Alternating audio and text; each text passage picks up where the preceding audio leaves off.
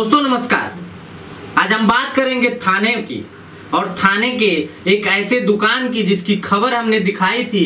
पिछले महीने एक महीना हो गया, लेकिन उनके अधिकारी तो आराम से कुंभकर्णी निद्रा में सो रहे हैं और मुख्यमंत्री या उनके प्रशासनिक बड़े अधिकारी तो बड़े बड़े दावे कर रहे हैं कि हमने कोरोना में लोगों को राशन वितरित किया, लेकिन वो राशन तो आधा से ज़्यादा ब्लैक हो गया।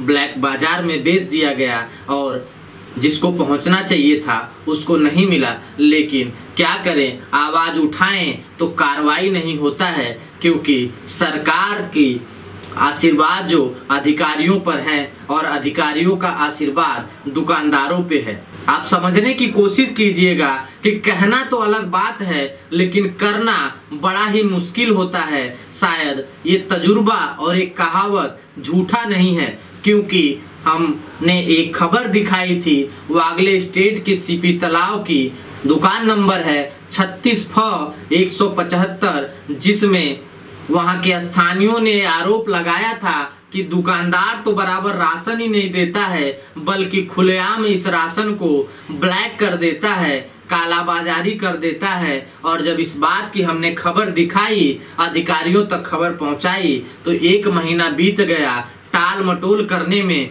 कि जाँच हो रहा है, कार्रवाई हो रही है, लेकिन बड़े बाबू तो आराम से अपने कैबिन में आराम से सो रहे हैं। आखिर उनको क्या पड़ी है जो वो दुकानदार की जाँच करेंगे और गरीबों को राशन दिलाएँगे? क्योंकि सरकार तो उनको तनख्वाह दे रही है और दुकानदार कालाबाजारी करके उनका जेब गर्म कर रहा है। फिर भी सरकार तो अपनी वाहवाही करेगी ही। एक तरफ़ शिवसेना सरकार की महाआघाड़ी सरकार वचन पूर्ति करने का बड़े बड़े दावे कर रहे हैं बड़े बड़े बैनर लगा रहे हैं, लेकिन क्या इस सरकार के पदाधिकारी भी सोए हुए हैं? क्योंकि गरीब लोगों का राशन तो राशन दुकान वाले ब्लैक कर दे रहे हैं।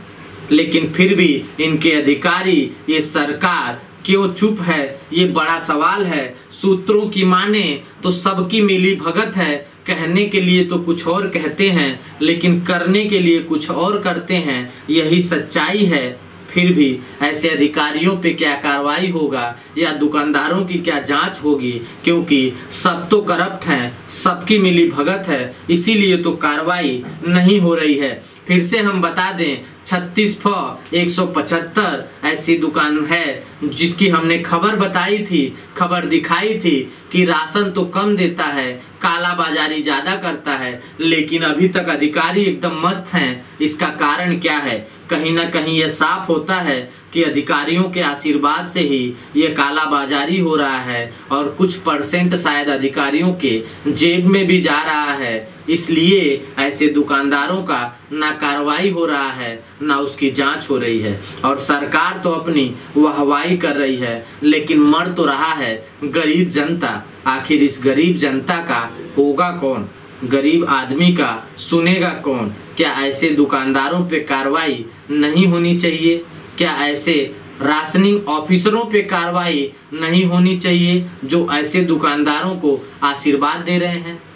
या ऐसे दुकानदारों को मिली भगत से कालाबाजारी करवा रहे हैं? पूछना चाहते हैं मुख्यमंत्री महोदय से, पूछना चाहते हैं अन्न पुरवठा मंत्री से कि आखिर चलेगा कालाबाजारी और कब तक आप झूठी वाहवाही करते रहेंगे?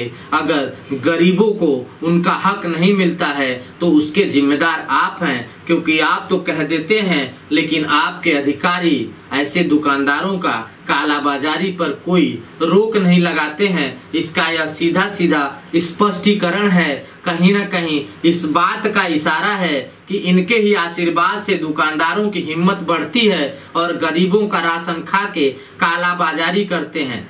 हम आपको दिखाएँगे इसका अपडेट कि इस पे सरकार के आला अधिकारी क्या कार्रवाई करते हैं या फिर आराम से कुंभकर्णी निद्रा में सोएँगे आखिर, क्योंकि हक तो गरीबों का मर रहा है। उन्हें तो सरकार तनख्वाह दे रही है और दुकानदार उनके जेब भर रहे हैं। लगातार हम इस खबर का आपको अपडेट दिखाएँगे।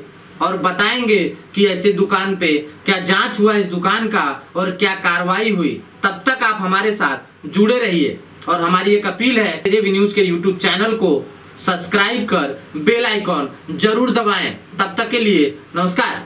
जे जे न्यूज़ के यूट्यूब चैनल को सब्सक्राइब कर बेल आइकॉन दबाएँ, ताकि आप बने रहें ताज़ा तरीन खबरों के साथ।